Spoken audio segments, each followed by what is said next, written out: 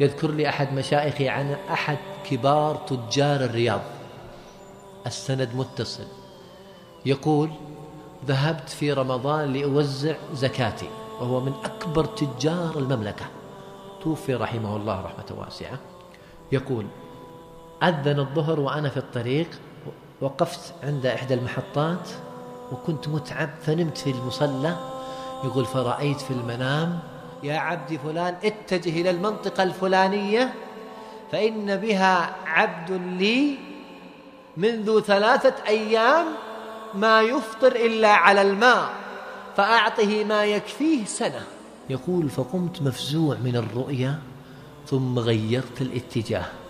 يقول وصلت البلد أذان العصر اتجهت للمسجد في هذه القرية. يقول انتظرت بدأ الجماعة يتوافدون على المسجد؟ وإذا بهذا الرجل الذي رأيته في الرؤيا يقول والله رأيت بصورته. يصلي بنا إماما. يقول لما صلى وانتهى أخذ الجماعة يخرجون بقي هو. قال أنت رجل غريب عن البلد. لا إله إلا الله. الله الغنى غنى القلب. قال أنت رجل غريب عن البلد. تفطر معي اليوم. رمضان. يقول قلت تم جلست أقرأ قرآن في المسجد قبل المغرب بقليل جاء وذهبت معه. يقول تبيني فيما بعد أنه إمام بدون راتب. يقول لما دخلت البيت يقول والله ما رأيت شيء يرد البصر. ما في فرش.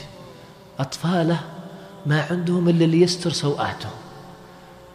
يقول لما أذن المؤذن أحضر لي الماء وقال تفضل. يقول فعينت في استغراب. قال يا أخي والله إني من ثلاثة أيام لا أفطر إلا عن ماء ولو عندي غيره لأتيتك به. فتأثر هذا التاجر وأخذ يبكي. ثم قال له أنا مرسل لك من الله. الله أكبر. يا أخوان ما ذهب يترجى مخلوق ضعيف مثله؟ عرف الله فعرفه الله. فأرسل له من يعرض عليه داخل بيته وهو في عزة وكرامة وستر لأن من يعرفه الله يعرفه الله ومن يعظم الله يعظمه الله ومن يرجو الله ينال رضوان الله. الله أكبر. لكن انظر واسمع وتأمل القلب المليء بما عند الله والزهد عن جناح البعوضة. قال أنا التاجر فلان وقد أمرني الله أن أعطيك ما يكفيك سنة. تخيل إنسان رصيده الصفر ويعرض عليه تاجر كبير يقول نعطيك مليون مليونين ماذا تريد؟ يقول فما كان من هذا الرجل إلا أن بكى بكاء شديدا. يا فلان لا تفتني بمالك يا فلان ما تفتني بمالك وأخذ يبكي.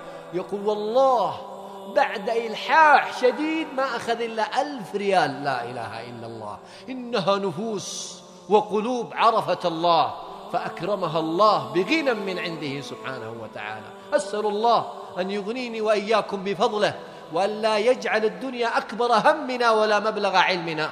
اللهم آمين يا رب العالمين.